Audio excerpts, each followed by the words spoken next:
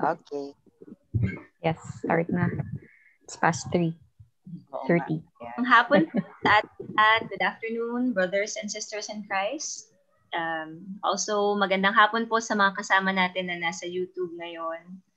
Uh, may I request you, those who are here in Zoom, if you can kindly turn on your videos, kahit mabilis lang, two seconds lang, so we could greet each other. Ayan. Thank you po. Ay ate, ayan. What a joy to see your faces, kahit na virtual lamang. Yun. Kasi somewhere I read na ano, we as humans are wired to respond positively to faces, human faces. So, notice na medyo, di ba, nagkakaroon ng joy bigla sa puso kapag nakita ka ng mukha. Lalo na yung mga mukha ng kaibigan at familiar sa'yo. So, thank you for allowing me to see you sa inyong video. And welcome to the Diliman Campus Bible Church. Let me just read quickly our mission statement. DCBC is a church in UP Diliman committed to obeying both the Great Commission and the Great Commandment. Our Jerusalem consists of the students, faculty, and staff of UP Diliman and the communities in and around the campus. Our vision, by God's enabling, DCBC will be a praying, worshiping, evangelizing, biblically taught, and loving fellowship of believers, and by His grace, a growing church for His glory that reaches out to others in the community, serves the needy, and sends out its members to other parts of the Philippines and to the ends of the earth. One of DCBC's core values is being prayerful, as you can see, the third core value. So we aspire to be how Acts 2:42 describes the believers.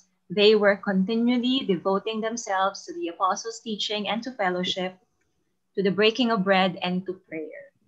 One of our deacons, Kuya Arvin Alfonso, will lead us in our congregational prayer.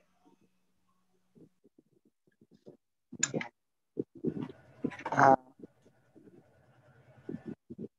wait lang po. Ah, ang prayer po natin is ah, going to be recording. Oops, Kuya Sir Nico, can you allow me to ano share? Ah, stop nyo po yung sharing, Sir Nico. Ayan. Okay, wait lang po. Ay, sorry.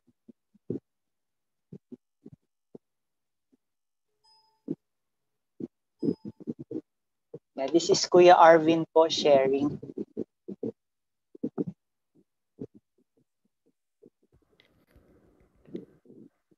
God is our refuge and strength, a very present help in trouble.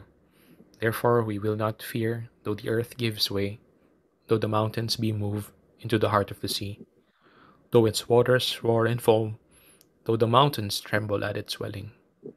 Come behold the works of the Lord, how he has brought desolations on the earth. He makes wars cease to the end of the earth. He breaks the bow and shatters the spear. He burns the chariots with fire. Be still and know that I am God. I will be exalted among the nations. I will be exalted in the earth. Let's come to the Lord in prayer. We lift up to you in prayers our country's national leadership from all branches of our government. In this time, we pray for the executive, legislative, and judiciary branch. We pray for selfless leadership and righteous governance in our country that it would be prevalent in the leaders of our land. You have commanded us, Lord, to pray for all people, especially kings and all who are in high positions. So we ask you to grant strong and reassuring leadership arising from the office of the President. We pray that President Duterte will continue to acknowledge his need for God's wisdom and direction as he leads our country in these very trying times. We also remember our kababayans who have been greatly affected by the aftermath of Typhoon Rolly. We pray for their physical, emotional, mental, and economic recovery. We pray for rapid and organized relief operations to bring aid to those areas struck hardest by the typhoon. We pray for Catanduanes, Albay, Camarines Sur, and parts of Calabarzon and also Mindoro.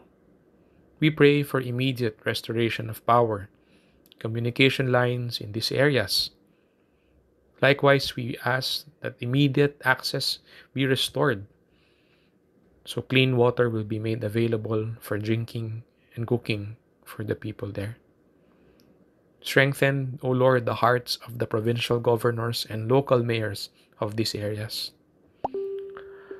As our country reels from the pandemic that has resulted in losses in life and jobs, we pray for unity and collaboration among all Filipinos in the fight against COVID 19. We pray that we will do our part in complying with the strict health protocols and safety measures being implemented in the community level. We remember to pray for safety and strength for our frontliners in the hospitals as they look after patients. We also pray for wisdom and humility for the IATF and NTF as they continue to revisit policies, regulations aimed to help battle the pandemic while working towards helping affected sectors of the economy to recover. We pray for the education sector as most schools have reopened and a month has passed since the school year has started. There are several birth pains, glitches, and adjustments for both the students and the teachers. Bless the teachers, school administrators, as they seek to teach in this challenging setup. We pray for private sector in partnership with the government as the telecommunication companies seek to fast track the improvement of internet connectivity, which is very vital in these times. We pray for the body of Christ that amidst an atmosphere of fear and uncertainty will be a source of encouragement and strength even as we abide in Jesus. We give back to you the praise, honor, and thanksgiving for the recently concluded online family camp. Thank you for your word that was proclaimed and studied all throughout the four days. We thank you for the humble leadership of Pau and the rest of the camp staff who have all worked together for the furtherance of your kingdom, O Lord, through the building up of your people in DCBC. As in the church camp's theme, Tanglaw, may we radiate the light we have through Jesus in our homes, in our communities, and in our workplaces. We pray for the upcoming nomination and election of DCBC's elders and deacons. May the clarion call to lead and serve be clear in the hearts of those who will be called. Still their hearts, O Lord, and let them heed the Holy Spirit's leading. We also lift up to you some of our brethren in the afternoon service with specific concerns and requests. We pray for healing for the parents of Wiz and also Dang Comendador, who has been tested positive for COVID 19. We also pray for protection and for favor- favorable results in the swab test for Wiz and his sister. We also lift up to you Lorraine's mom, that she may recover and be able to go home as well. This afternoon, we once again pause and remember to pray for the persecuted church in Tunisia. We pray for converts who have lost their jobs and unable to attend school after their faith was discovered. We pray that the Lord will supply their needs. And we pray that they may fully trust in you, O Lord, in this time. We pray for supernatural strength and grace for the believers in Tunisia as they endeavor to show Christ's love to their family members that persecutes them. As they seek to let the light they have in Jesus shine, we pray that God will turn their families' hearts of stone into hearts of flesh. And lastly, we pray for opportunities for fellowship to be opened up among Tunisian Christians in these times. We commit to you, O Lord, this afternoon's worship. We express our gratitude to you, O Lord, for providing us means to see and hear each other so we may worship together as one community. We pray for your messenger, Pastor Armin, as he delivers the message this afternoon. Use him powerfully as your mouthpiece to proclaim your word. As we come together as a community, may our offering of praise, worship, and fellowship be a pleasing and sweet aroma to you.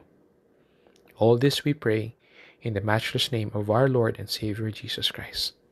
Amen.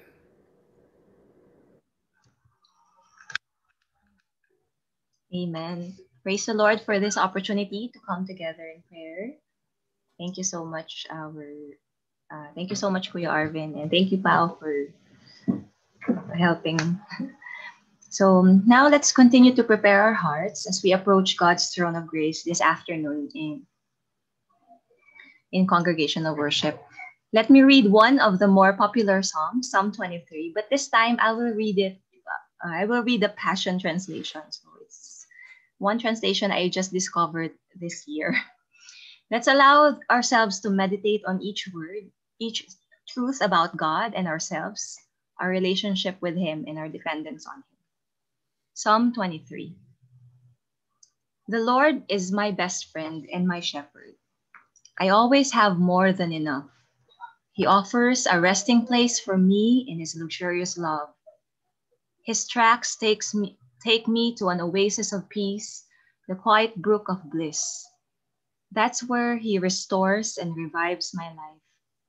He opens before me pathways to God's pleasure and leads me along in His footsteps of righteousness so that I can bring honor to His name.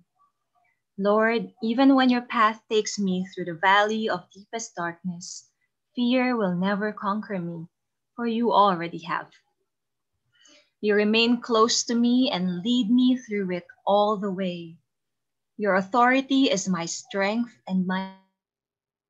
Takes away my fear. I'll never be lonely, for you are near. You become my delicious feast, even when my enemies dare to fight. You anoint me with the fragrance of your Holy Spirit. You give me all I can drink of you until my heart overflows. So why would I fear the future? For your goodness and love pursue me all the days of my life. Then afterward, when my life is through, I'll return to your glorious presence to be forever with you. Let's pray. Our Heavenly Father, you are our shepherd, and we are the sheep of your pasture. Thank you because you know each of us, our needs, our strengths, our weaknesses, and you deal with us with grace and love. You know when we stray, and you know just how to rescue us. You carry us back to your fold. And you, though you discipline us, we know that it is for our good. Thank you because you do not give up on us. You search for us and you gently rebuke and guide us. We come before you today, gathered as your flock, aware of our filthiness, our unfaithfulness, our unworthiness. We humbly come before you, our King, our God, our Shepherd, with contrite hearts, knowing that you are compassionate and gracious, and you are able to cleanse us and give us pure hearts. Allow us to offer ourselves to you wholly. Allow us to meditate on your word, your character, to declare your praise, sing with humble and joyful hearts before you, because you've done so much. You are worthy, O Lord. You alone are worthy of our praise, our worship, our devotion. These we pray in the mighty name of Jesus. Amen. Psalm 95, verses 1 to 3 says, Come, everyone, let's sing for joy to the Lord. Let's shout our loudest praises to our God who saved us. Everyone, come, meet his face with a thankful heart. Don't hold back your praises. Make him great by your shouts of joy. For the Lord is the greatest of all, King God over all other gods. Let's now call our brother Nico to lead us in the singing of Thank you, Ate Sak. I will also ask Pau to help me uh, flash the lyrics for our praise and worship this afternoon. Make Thank him you. great by As your in the church joy. camp's theme, For the Tanglaw, Lord is the greatest of may all. we radiate the light God we have all through Jesus lang Pau nung in ano, our homes. Now ay yung ano, computer sound. Thank you. Uh, so, habang uh, na nagsiset up yung ating lyrics, um, hahabaan ko na lang yung kwento ko para umabot. So, since bata ako, joke lang. um, isa sa mga mm, napanood ko po nitong kasi simula lang ng nung nagsisimula pa lang po yung pandemic isa sa mga series na pinanood ko ay yung The Chosen. Nasa ano siya? Nasa YouTube. Tapos meron din siyang app. And then um, it's about uh, it's about the life of Christ pero seen through um, the people who were following him. Maganda siya uh, uh, and dun sa first episode meron pong isang character, hindi ko na sasabihin kung sino, may isang character po doon na laging may pinagdadaanan na trial. And yung isa sa mga early scenes was that character trying to remember what his father taught him, a verse that his father made him made her remember. And that verse was Isaiah 43 verse 1 to 3. So isi-share ko na lang din sa inyo yung verses na yun.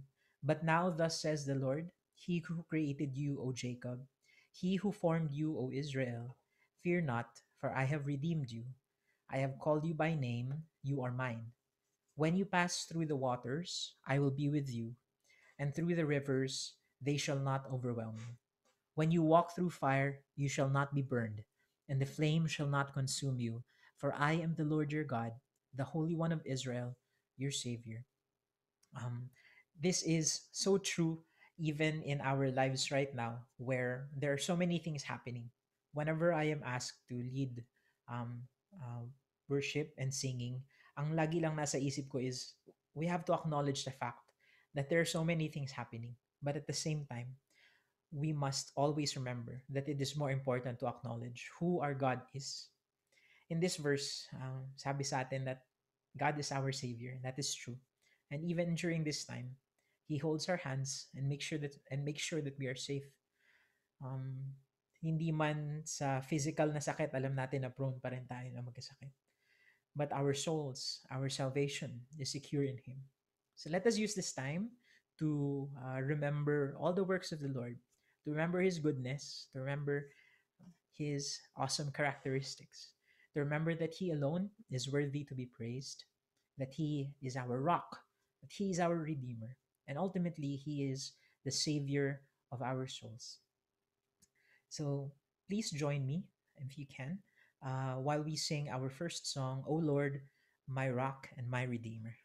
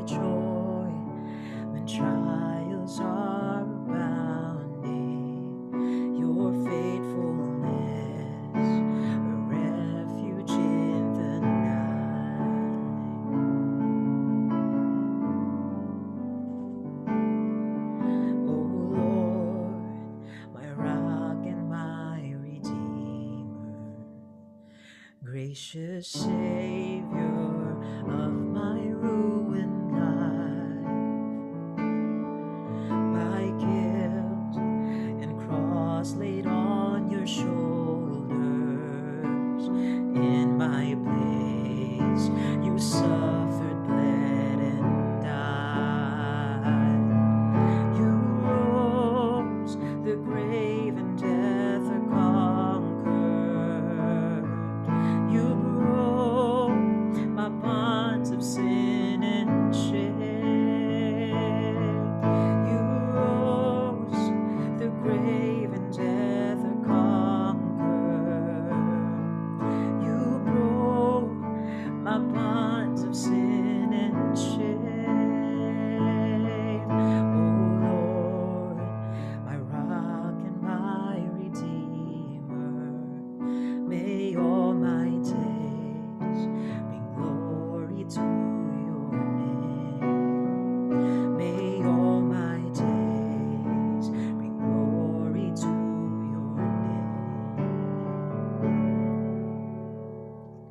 First Peter chapter 1 verses 3 to 5. Blessed be the God and Father of our Lord Jesus Christ.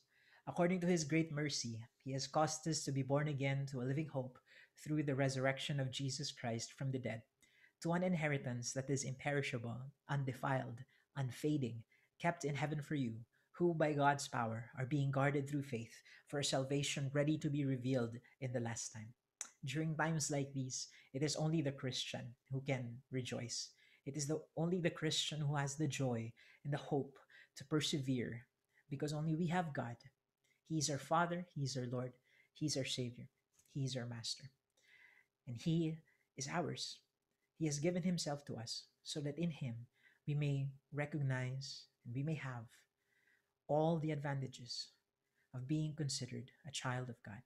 Let us sing our next two songs na magkasunod, Christ is mine forevermore and Come Thou Fount.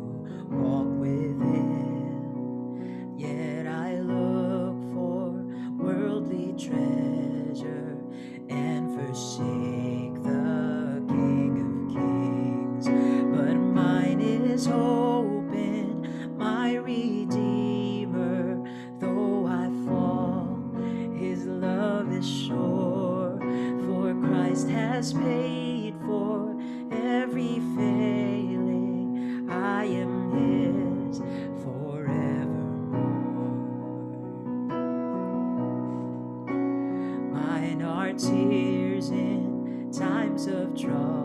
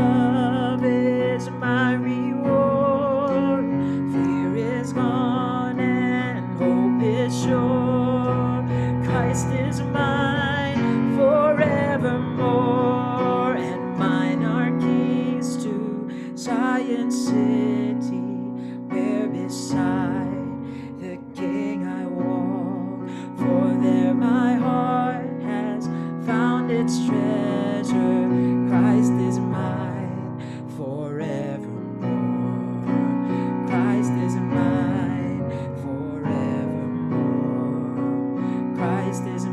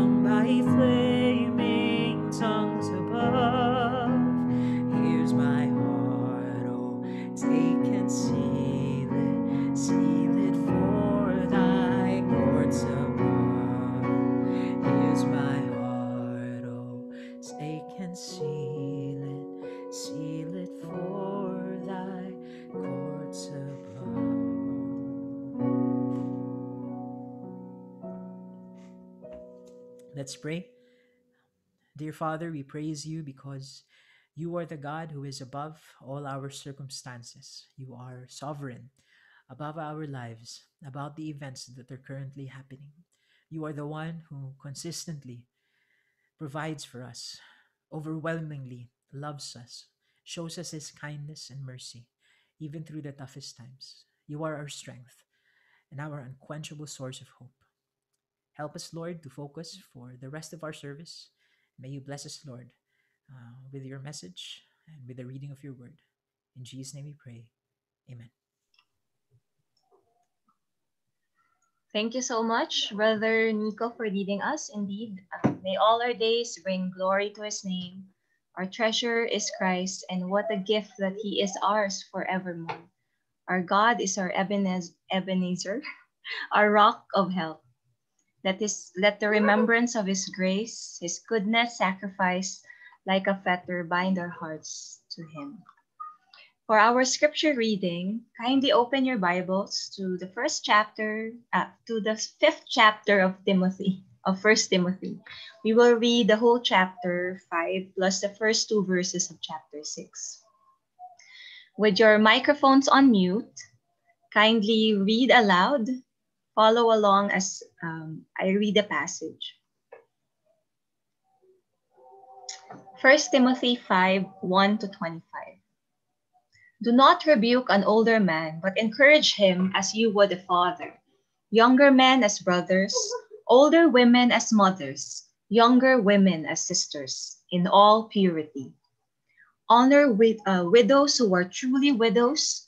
But if a widow has children or grandchildren, let them first learn to show godliness to their own household and to make some return to their parents, for this is pleasing in the sight of God.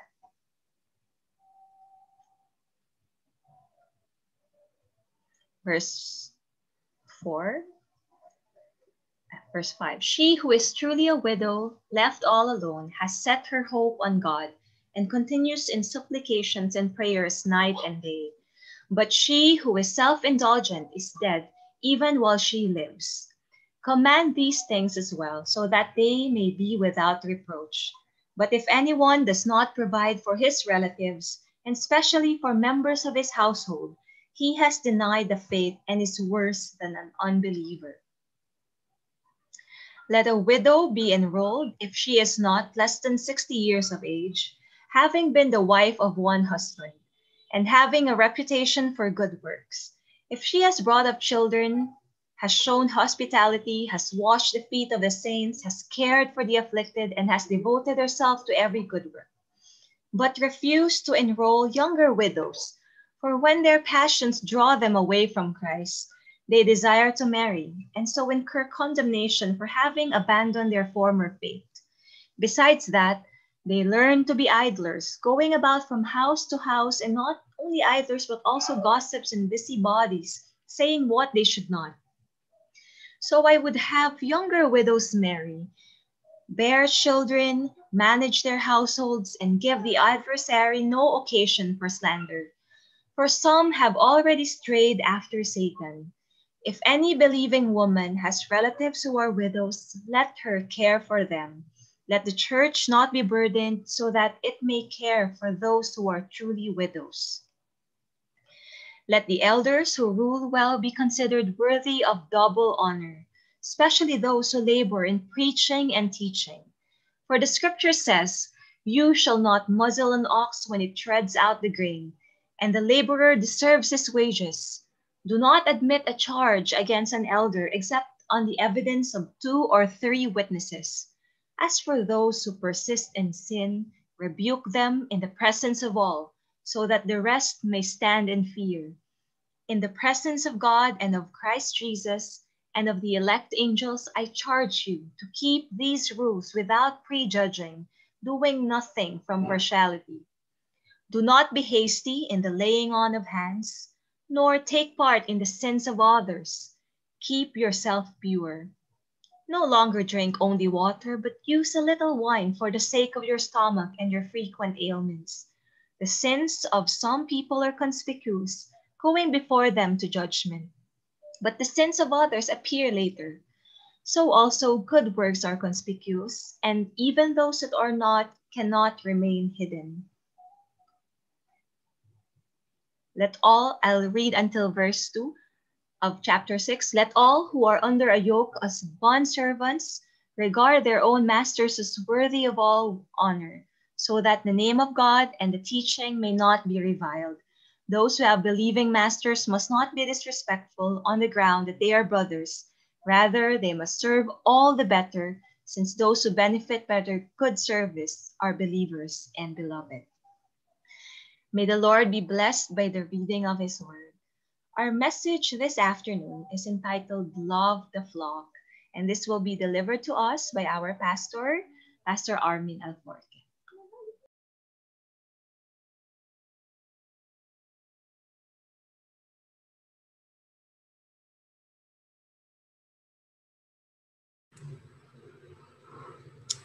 Good afternoon.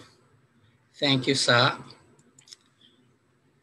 Um, after the wonderful experience we all had at our first ever and hopefully only online DCBC Family Church Camp, we now resume our sermon series on the Apostle Paul's first letter to his spiritual son and appointed pastor of the church in Ephesus, Timothy. And by the way, I hope you all truly had a wonderful, refreshing, and edifying experience at the camp. So maybe we can just all uh, unmute our mics just for a few seconds and let us all give a clap offering to our sovereign God, to whom nothing is impossible and who tirelessly works for the good of all those who love and obey him. Let us all give a clap offering.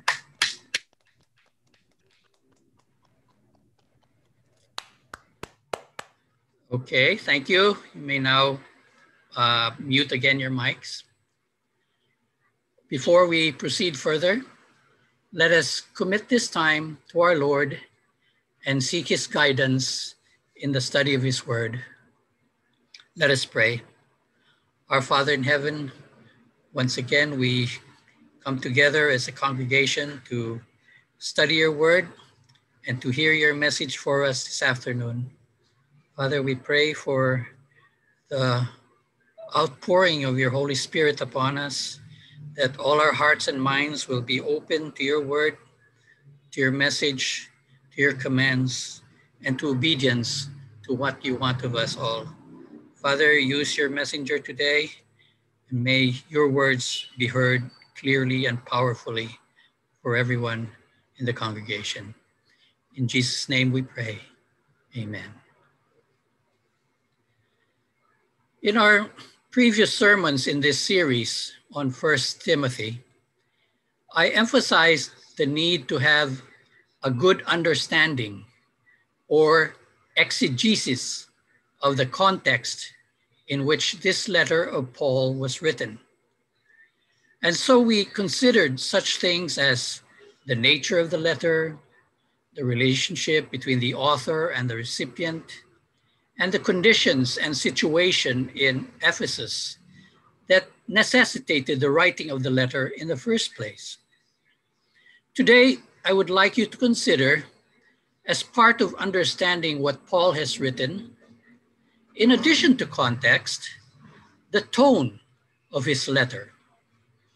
We have to remember that the written word, aside from actual speech, was the main form of communication in Paul's time. Live oral and video broadcasts obviously had not yet been invented then, much less audio and video recordings. Illustrated writings may have already existed then in some parts of the world, and certainly hieroglyphics, cuneiform, and other pictographic forms of writing. But emojis, GIFs, and other visual aids to communication that we so take for granted and use liberally in our day-to-day communications now would have been practically unimaginable then. And yet, the need to communicate not just plain meanings, but also feelings and emotions was just as well felt then as it is now. We must remember that practically all letters that were written were also meant to be read aloud to a larger audience. And this is where the tone of the writing plays a role in communication. Imagine, if you will, the first letter from Paul to Timothy as having a voice. What would the tone of that voice be? And what would that tone communicate? If you can recall some earlier words and phrases in this letter, Paul used words like urge and charge and command, all in an imperative and active tone. He gave stern warnings and instructions, and especially in chapter 3, verses 13 to 14, Paul expressed an urgency in the need for Timothy to implement his instructions at once and not wait for Paul himself to arrive in Ephesus. In the chapter previous to our passage for today, chapter 4, Paul continued to use this urgent and stern tone, even though his words were more personally directed to Timothy himself. And I read, have nothing to do with irreverent, silly myths. Chapter 4, verse 7. And command and teach these things. Let no one despise you for your youth. Chapter 4, verses 11 to 12. As we study today's passage, I would like you all to recognize a shift in Paul's tone and its effect on what he is saying to Timothy. Let us now look at the passage. 1 Timothy chapter 5 verse 1 to chapter 6 verse 2. For our purposes today, I have divided the passage into four parts. First part, encouraging others.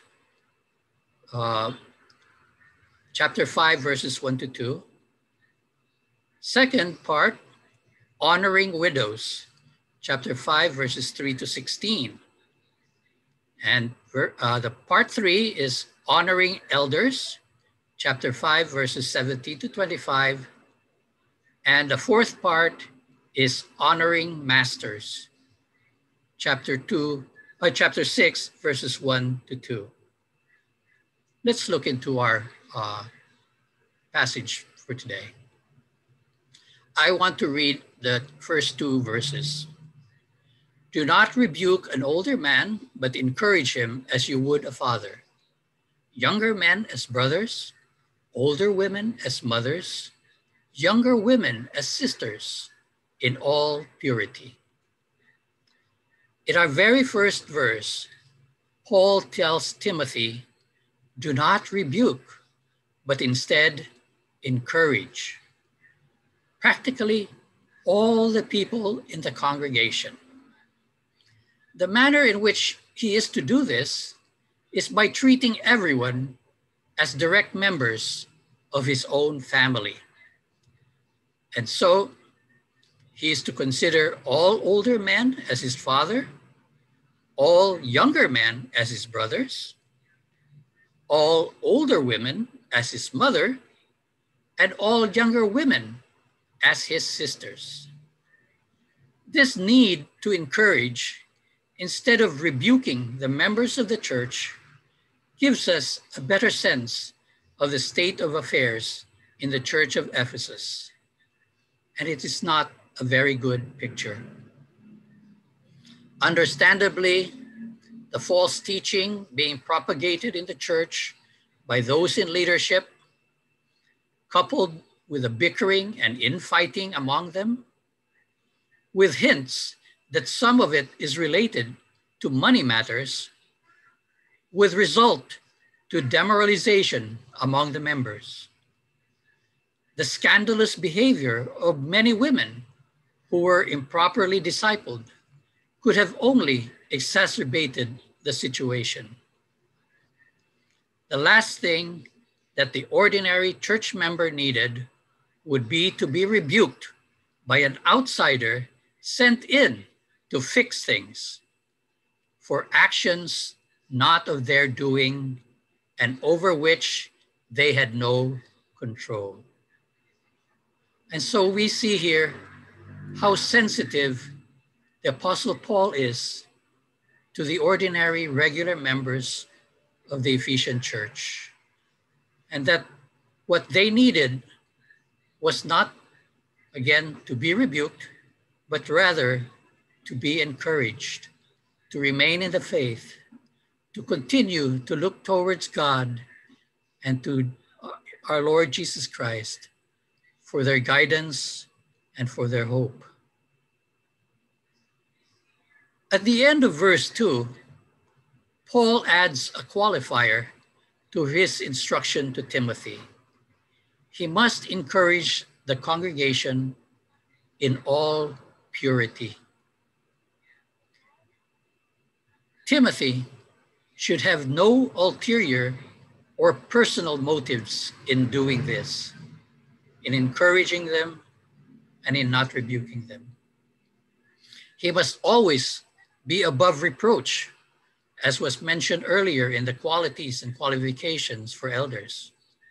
He must be above reproach in his dealings with all members of the congregation.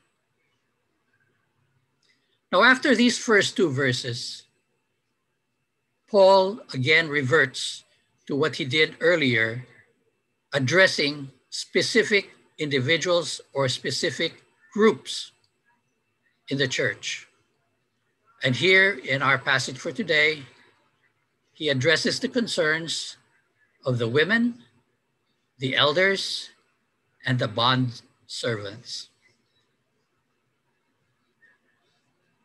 In terms of, oh, we, we now come to our second part of our passage, uh, verses 3 to 16 of chapter 5. And we note right from the outset that here Paul allots a huge amount of words of his writing to the concerns of the women members of the church. Although he specifically addresses widows, both the older widows as well as the younger widows, we can see that this is actually intended for the women of the church.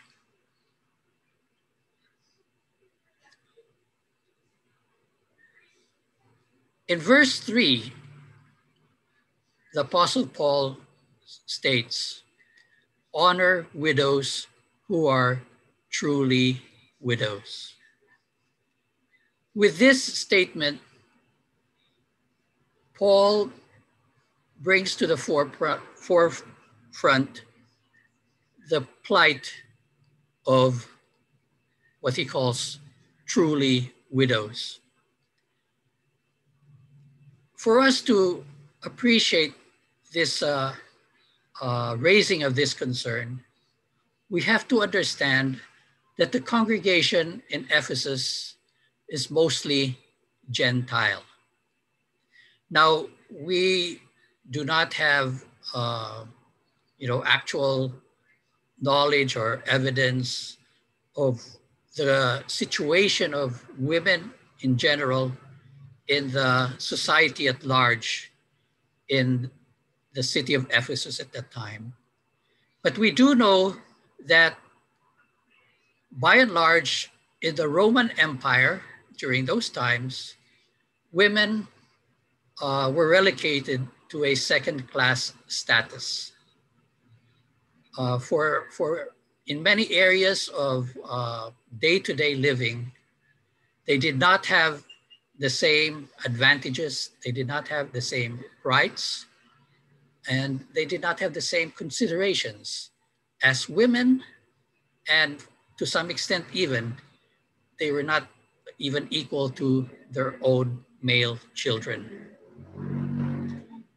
However, for the Jews, for those who are knowledgeable about the Mosaic Law, we, we understand that God, in his wisdom, had provided for all those who are marginalized in society. Mosaic laws provided for the vulnerable, marginalized, and oppressed. And this provision in actual law was unheard of in the ancient world. and in particular among the Romanized Gentile cultures during the time of Jesus and of Paul. You may recall that uh, in the Old Testament, particularly in the book of Deuteronomy, there were extensive uh, number of laws that applied specifically to the care for all these marginalized people, and among them were widows. In addition to that, there were even um, uh, provisions for the inheritance of property, as well as the uh, bestowing of property from women to their descendants, which again was mostly unheard of in ancient times.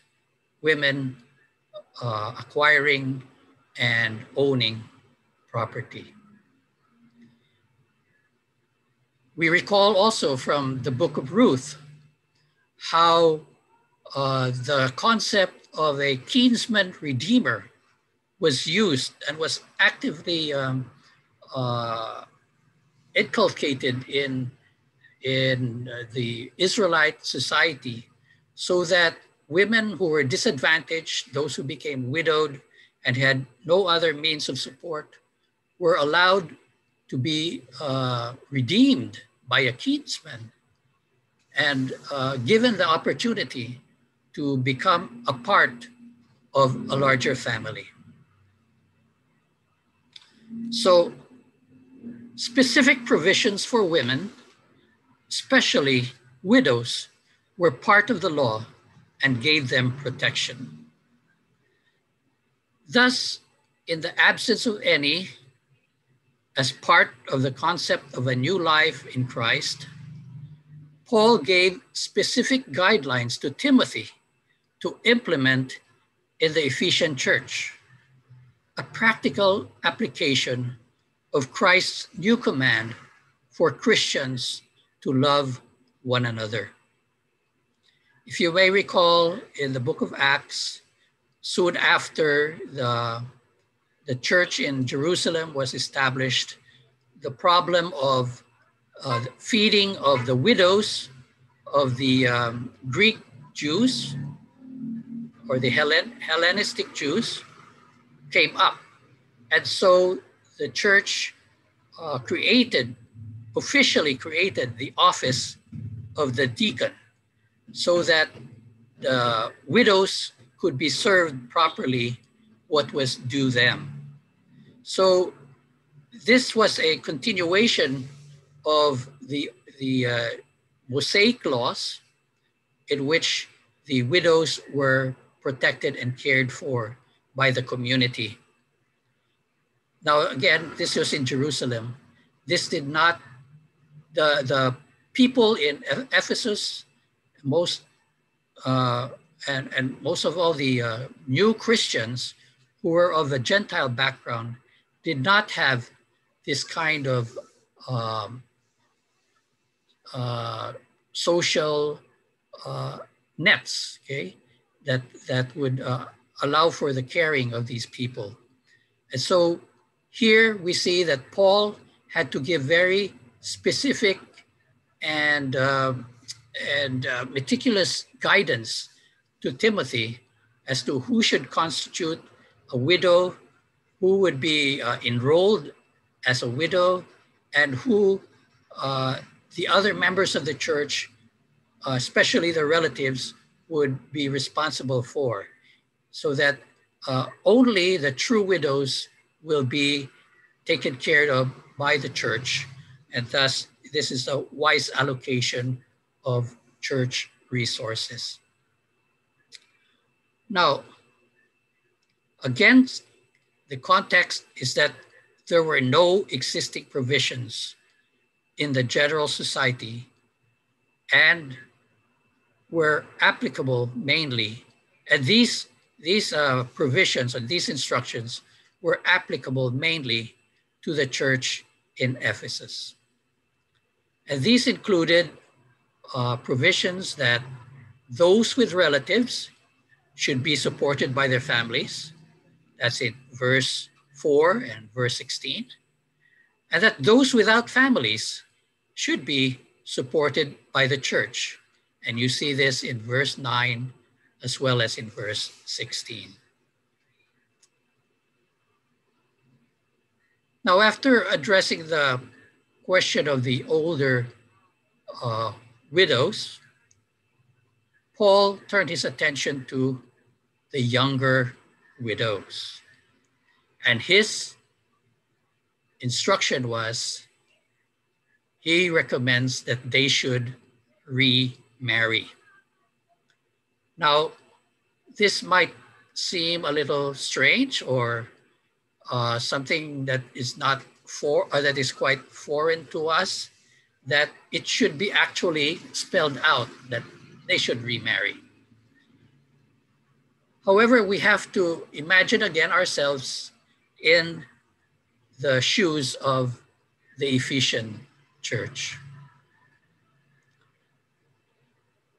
We do not, again, know specifically how the society uh, treated young women who lost their husbands. But here, Paul is actively uh, encouraging remarriage among the young widows. Essentially, he is saying that for women who became widows, it is acceptable. It's not only acceptable, but it is to be considered a positive option for the young women to again become secure in life, to contribute children to the community, and to exercise management and productive skills in place of idleness and gossip which gives the enemy opportunity to create dissension and damage within the church. And so here again, we see the perceptiveness and sensitivity of the Apostle Paul to the situation in the church of Ephesus and what and the dangerous situation that comes about when uh, women are not given opportunities to be productive and to be co- to contribute to the life of the church. This view of, uh, of or this appreciation of Paul probably runs counter to the uh, feminist uh, view of Paul. In the um, in the debate or in the discussion within the church between uh, feminism and the role of women and uh, the role of men, often Paul is viewed as a uh, patriarchal uh, male chauvinist. But we can see here that actually Paul uh, shows that his uh, awareness and his knowledge of the Mosaic law and his appreciation for how the marginalized and the oppressed uh, uh, sectors of the society are given uh, opportunities to be cared for by the community at large and also for their treatment as uh, respected members of the society.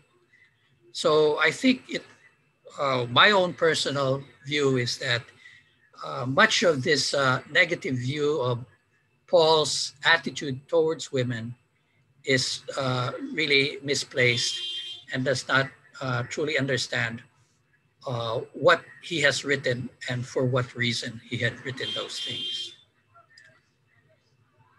Let's now proceed to the uh, third part of our passage, honoring elders, verses 17 to 25.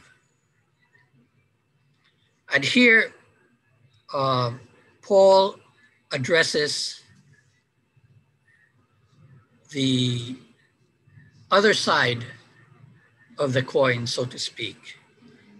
Uh, if you will recall, uh, Paul was very vehement in his denunciation of the elders who had been the source of false teachings in the church. And so he's here we see that he is conscious and he's aware that not all the elders of the church were guilty of false teaching. And that uh, the fact that these elders who were false teachers had given a bad name to, to the leadership, and that included even those who were not guilty and who, in fact, may have been doing a very creditable job. This could have been a very discouraging thing for the leadership of the church. And so Paul takes this opportunity now to, uh, to single out the elders. And in fact, he says very clearly that those who did their work well should be considered worthy of double honor. Okay. So he stressed the need to reassure those who perform their duties and responsibilities commendably, and that they should be compensated accordingly. But this does not mean that the elders would still be above being uh, charged or rebuked or accused of wrongdoing.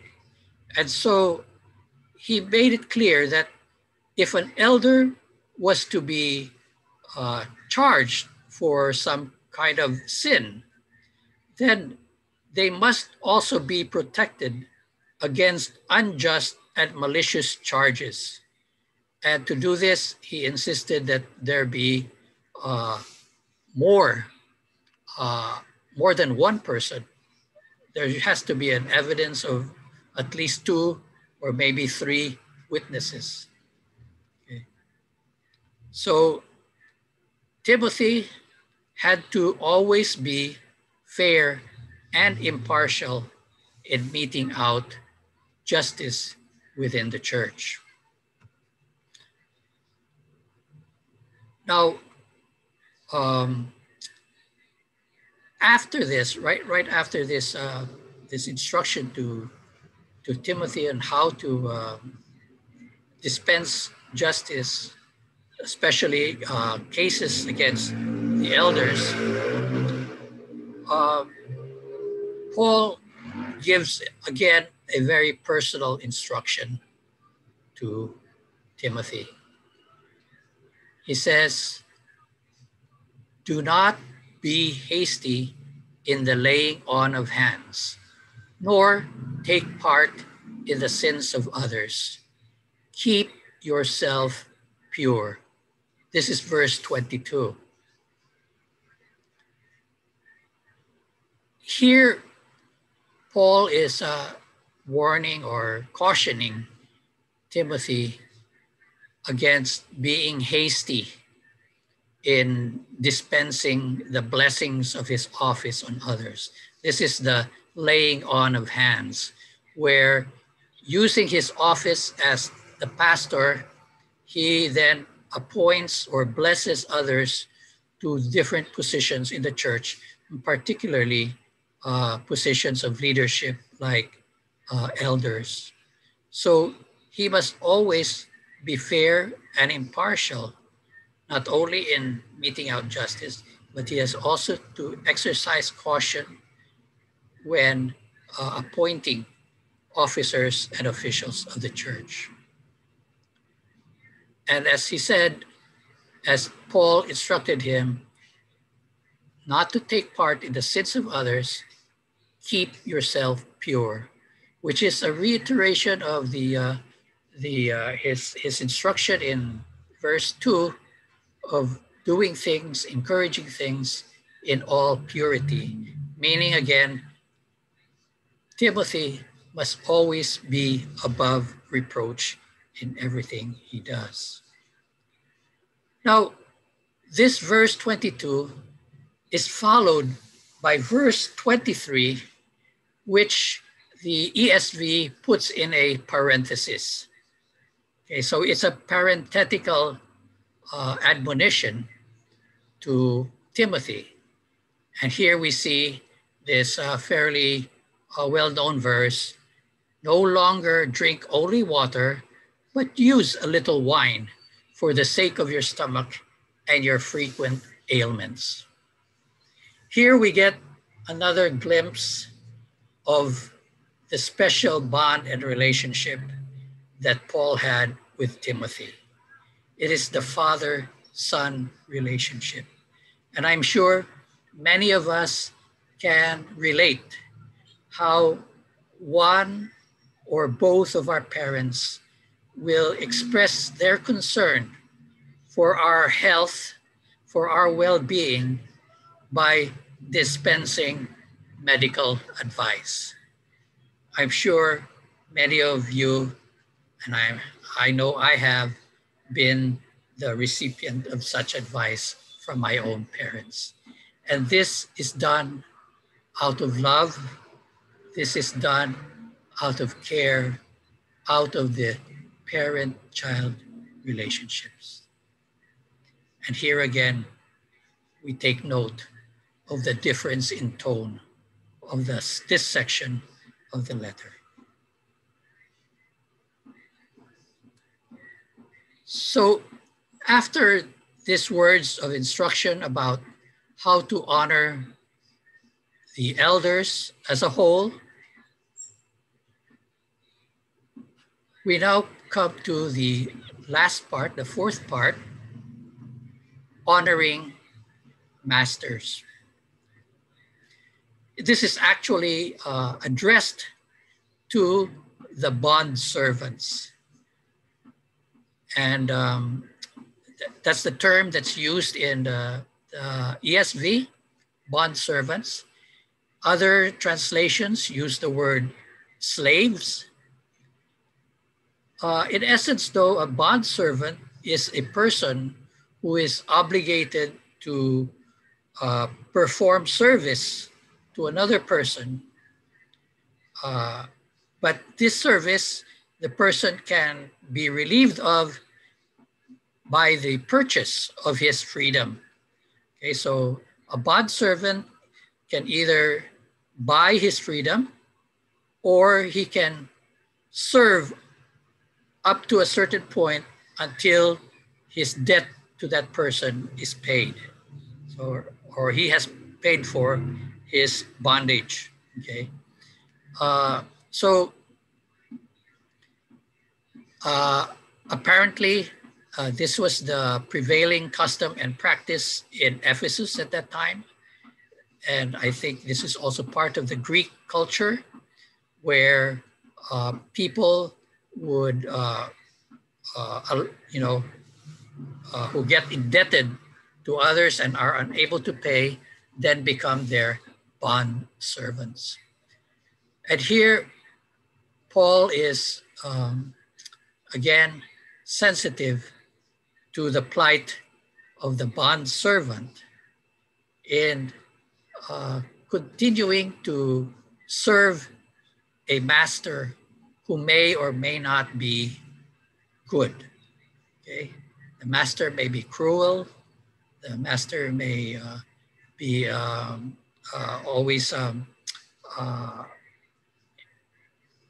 asking for the service of the bond servant in ways that are unjust. Okay, so the the the complaint or the condition of the bond servant, those who have already accepted Christ as their savior, and their expectation is to be uh, uh, freed of all this uh, uh, slavery or enslavement. Here, Paul admonishes them to regard their own masters as worthy of all honor. And this is not just so that uh, they will be uh, treated properly, because so for some, that treatment will not come at all. But because they, having accepted Christ as their Lord and Savior, now have acquired the name of God. And the, the reputation and the character of God is now at stake if they are not obedient to their masters. Now, in verse 2, Paul says that those who have believing masters must not be disrespectful on a different for a different reason. Not just that they are now uh, carrying the name of god but that in fact their master is also their brother. And again they must be served all the better since those who benefit from that service are their brothers in Christ. As Paul says, they are believers and beloved. Again, this is a practical application of Christ's second command love one another as I have loved you. Okay. So, bond servants, regardless of how they may be treated by their masters, they should still honor them. And that if their masters are believing masters, they should be uh, treated as brothers or considered as brothers because they are believers and beloved. As I mentioned earlier, there has now been a shift in the tone of Paul when he considers the church as a whole, when he considers the plight of the ordinary uh, members of the uh, congregation, when he considers the plight of the marginalized uh, and uh, those who are have no other means of support except the church. And when he considers the plight of the elders who have done nothing wrong and yet who are actually contributing and doing their work well, we see that not all is fire and brimstone for Paul. Paul has his sensitive, Paul has his understanding and caring side that we must also acknowledge as we read the words that Paul has written under different conditions throughout his ministry. And so even as he wrote letters to people while in prison or while under duress, under harassment, suffering all kinds of uh, difficulties in his life, he still uh, embodies the character and the love of our Lord Jesus Christ.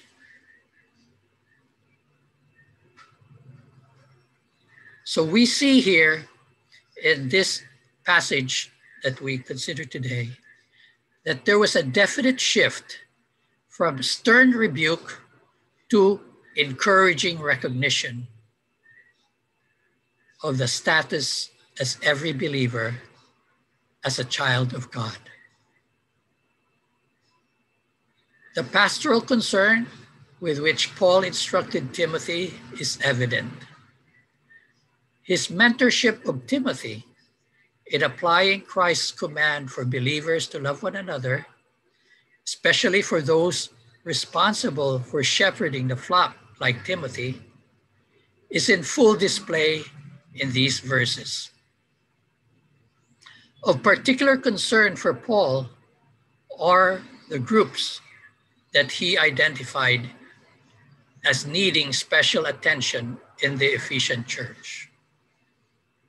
Again, we note that Paul's um, understanding of the situation in the church gives him this authority and gives him this ability to identify particular individuals, particular groups.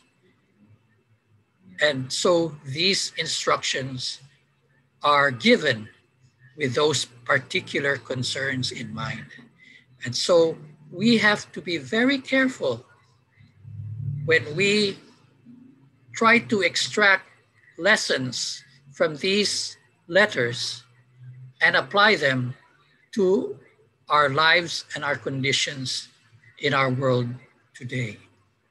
I'm not saying that they don't apply, but I'm just saying that we have to be careful, noting that these were given for very particular occasions and situations during those times.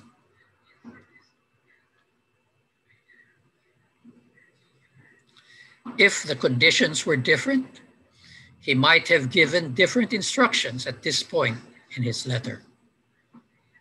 And so if the, the impact of false teaching and the impact on uh, false leaders would have been different, then maybe he wouldn't have said anything about the condition of the elders.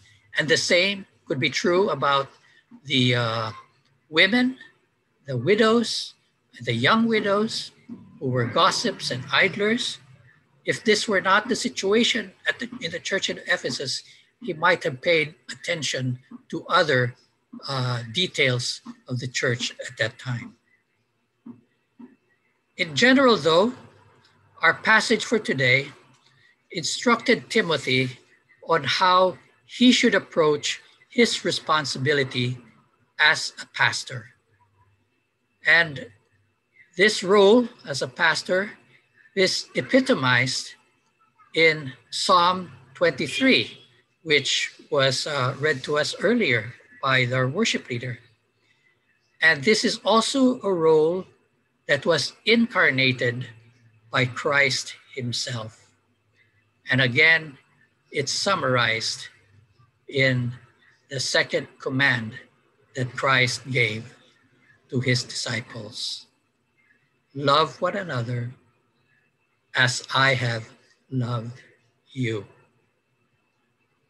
In conclusion, our takeaway today from our study of 1 Timothy chapter 5 verses verse 1 to chapter 6 verse 2 is this.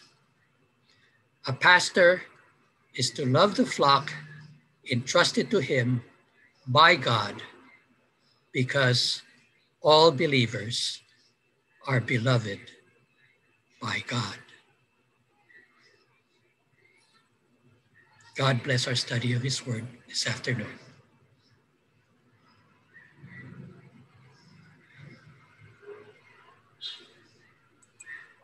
Thank you so much, Pastor Armin, for the message this afternoon. Let us spend a few moments in silence as we reflect on the truths that we have heard today.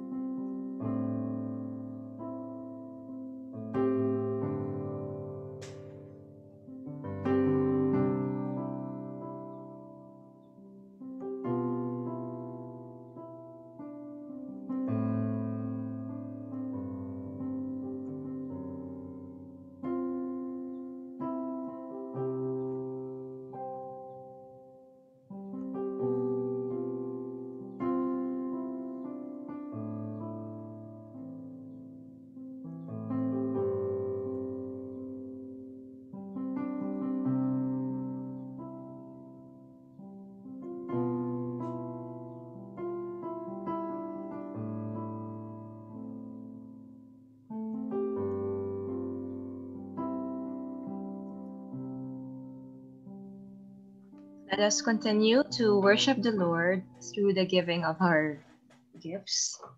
Allow me to read uh, this passage where Jesus, um, uh, so that we uh, let's listen to how Jesus um, explained to his disciples what giving or how giving should be. Then he sat down near the offering box, watching all the people dropping in their coins. Many of the rich would put in very large sums, but a destitute widow walked up and dropped in two small copper coins, worth less than a penny. Jesus called his disciples to gather around and then said to them, I tell you the truth, this poor widow has given a larger offering than any of the wealthy, for the rich only gave out of their surplus, but she sacrificed out of her poverty and gave to God all that she had to live on which was everything she had. That's from Mark 12, 41 to 44. Whatever our circumstances these days, whether we are in need or we have plenty, may we seek to give our gifts with the right attitude of humility and gratitude to our giver. Since we are not able to meet physically, we may just set aside our gifts or we may opt to deposit them to the Diliman Campus Bible Church's bank account which we will flash right now.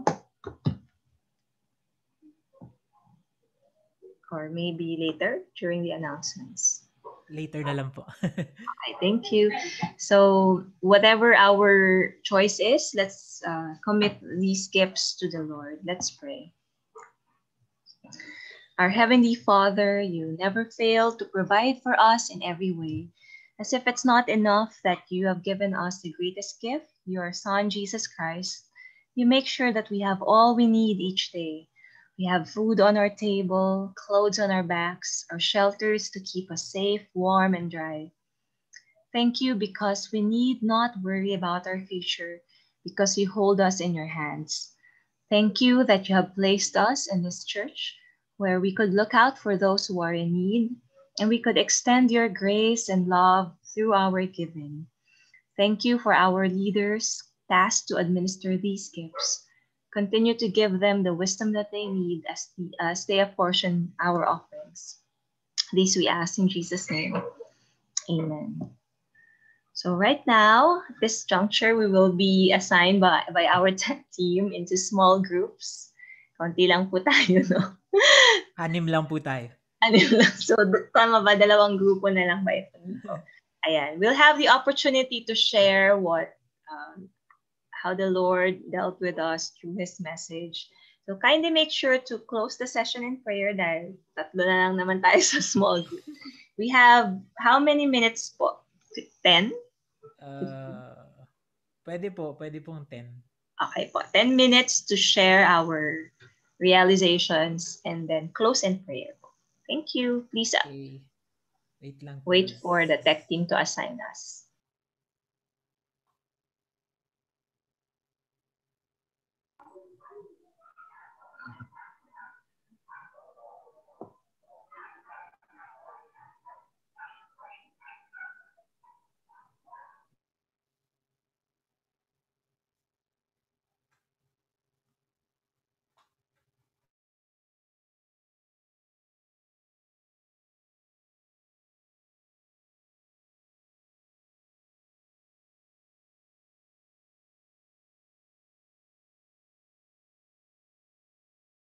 We would all be lost. We would all have no hope. But because you have loved us first, we are then called to love you also and to love one another as Christ has loved us. Thank you, Lord. Thank you.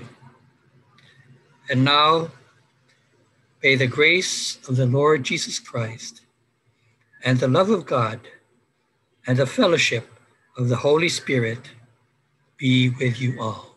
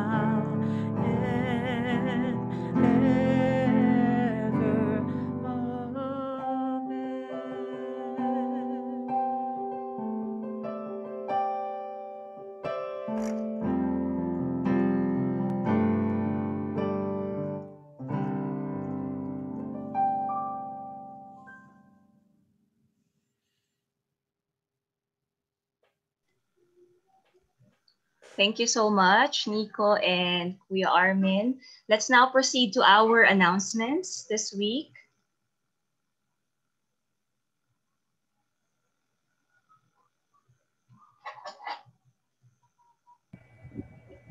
Sir Papun- parating na po. Wait lang po.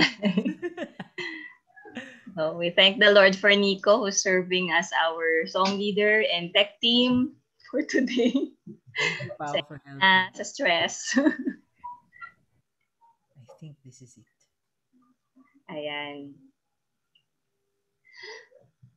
Okay, so um, we joyfully celebrate the lives of our brothers and sisters in Christ. Today, November 8th, Luther is celebrating his birthday. So siya po si Luther. He used to attend the PM service.